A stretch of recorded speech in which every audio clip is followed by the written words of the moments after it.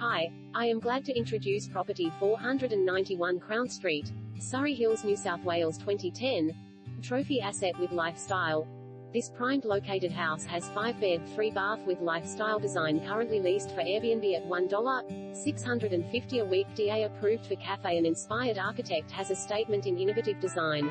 There are lots of cafe, unique art gallery and wine bar, environmental library and modern style pub. There is a new Surry Hills right rail to go to the city easily.